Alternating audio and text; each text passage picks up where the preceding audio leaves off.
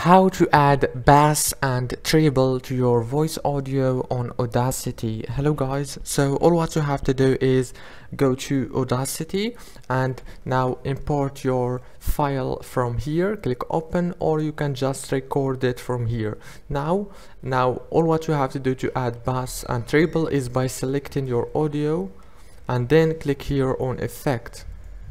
After you click on effect here you will find bass and treble after you click on treble and bass you will find this option right here and you can manage your audio as you can see.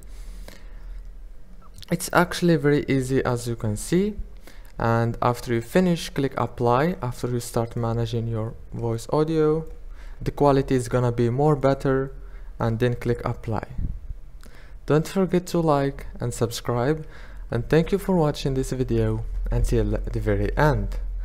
See you later